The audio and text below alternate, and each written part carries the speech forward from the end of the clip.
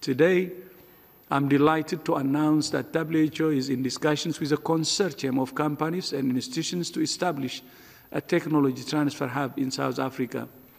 The consortium involves a company called Afrigen Biologics and Vaccines, which will act as the hub both by manufacturing mRNA vaccines itself and by providing training to a second manufacturer called BioVac.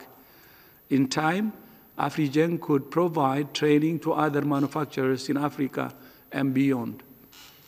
The Africa Centers for Disease Control and Prevention will provide guidance through the Partnership for African Vaccines Manufacturing. WHO is facilitating this effort by establishing the criteria for the technology transfer, assessing the applications, developing standards, and providing ongoing support and training. We are now in negotiations with several companies that have indicated interest in providing their mRNA technology to the hub. It's important to emphasize that this is an important step that will yield results in the medium term.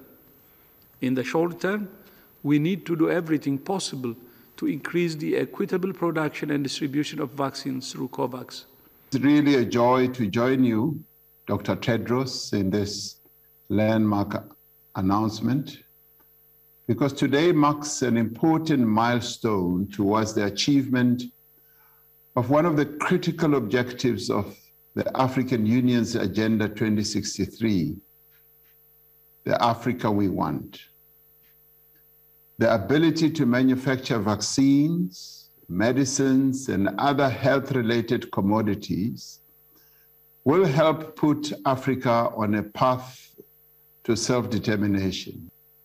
This will enhance our capacity to take responsibility for the health of our people, for the health of Africans. We will be able to plan for the entire value chain from training a critical mass of young people, enhancing and maintaining our supply chain and ensuring the efficient use of medicines. As South Africa, we intend to pursue these objectives in close cooperation with other countries on the continent, enhancing regional trade and investing in science and innovation. Today is historic, and we see this as a step in the right direction, but it does not detract us from our original proposal put together by India and South Africa that we should see a waiver of TRIPS at the World Health Organization.